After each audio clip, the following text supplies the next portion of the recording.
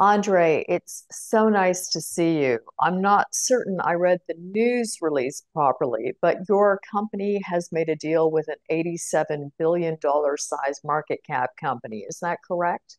Uh, that's really correct, yes. Nice to see you again too, uh, Tracy. And of course, it's my understanding that with this company, uh, according to one of the research reports I read, uh, this company has what is it, uh, 15,000 plus stores across Canada, and have exclusive distribution rights for your FLAIRE AI technology. Right. So what we did with Essilor, uh, Essilor's market is essentially um, uh, just uh, the optometry market. So they sell um, lenses, uh, uh, eyewear to them, and uh, they're a 24.4 billion euro company on an annual basis. So they actually sell about 100 million euro per day.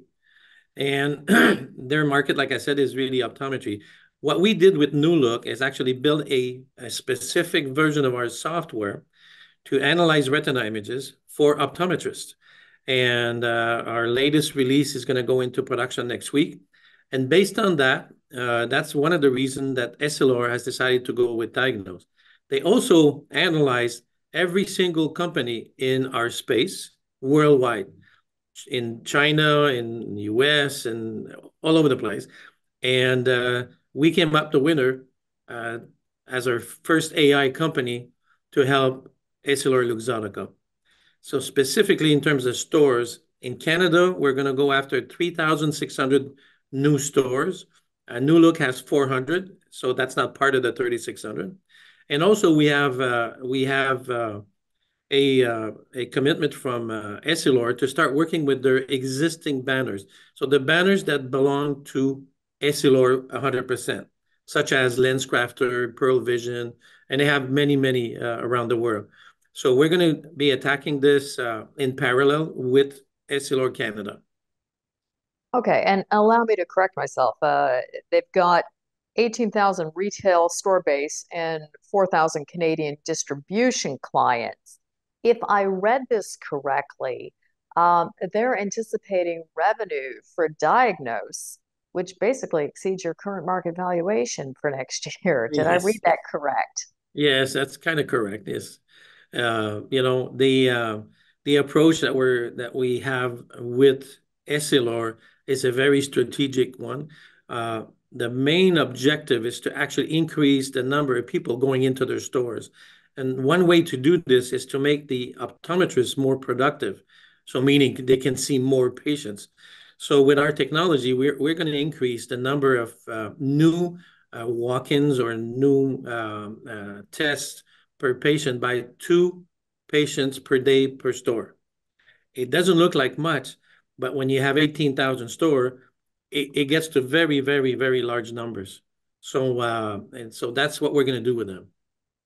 I, I, I would like to go back for just a second, though. I mean, Essilor could select anybody with the size of their company. They picked DIAGNOS for Canada. Clearly, the FLAIRE AI technology is something that they find competitive. Can you talk to me a little bit more about how you were selected in this process and I'm certain that investors out there are going, how long does it take for respectfully a small cap company to go in and make a deal with a multi-billion dollar, nearly a hundred billion dollar market cap company? Mm-hmm. mm-hmm.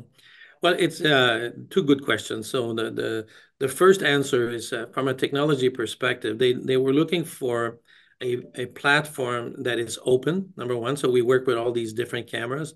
And we're also looking for a partner for the future. And we have three new applications that are going to be rolled out in the next few months. And so, based on that, none of our competitors were uh, actually at the same level as DIAGNOS. So, the investment, the strategic investment that I did in, in the architecture of what I built was the winner in terms of technology. Okay. The second part is that they wanted a partner that was flexible. Meaning, if they want to turn left, I got to turn left. So if they want to go after a new camera or a new service, I will do it. Uh, I told them uh, one of the key things that they were looking for is uh, these new ISO certification for cybersecurity. We do all our transaction on the net, on the net, right? So we're a, you know a SaaS-based model. Now, the cybersecurity protocol is called 27001 is extremely complicated to, to, to deal with. It has to do with confidential information, how, what you do, how you treat it. Uh, so we committed to become a 27,000 um, approved uh, this year, probably in the next six months. Again, the other competitors didn't want to do this because it's very, very complicated. Uh, and so, um, so that's another reason. Now, your last question is is uh, is important too. You know, why why do they pick a little company in Quebec of 14 people? I mean, there's the technology, but there's also the sense that of uh, partnership with them. I've been working on this for three years, so it's not something that's new. I mean, COVID didn't didn't did slow us down enormously. Even after COVID, it was very slow.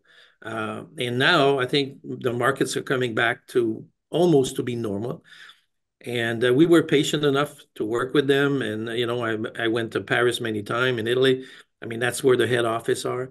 Uh, i got to build relationships with these people. They're very very nice people.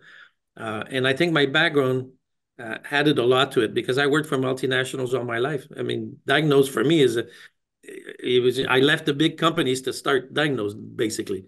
So i know and i understand uh, how to talk to them and uh, and it's not just telling what they, they want to hear.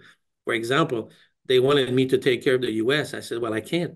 I mean, if I tell you I can do it today, and if I screw up, then I lose everything. So I said, I'd rather start with Canada. And by the way, it's it's still a $75 million market with one test. Once I have four tests, you're looking at like a, a quarter billion dollar market just here in Canada. I said, let me start with Canada and in parallel, we'll, we'll, we'll take on some of the projects in the US, not all of them, because I cannot. So we're going to grow. Uh, you know, it's uh, for us, it's really uh, a game changer, like we say in the business, right? Uh, we're going to grow. We're 14 people. Uh, we just hired a, a, number 15. And, you know, we probably have to hire no more than six to 10 people to actually uh, handle the load for Canada and part of the other, what the other countries they want to do also.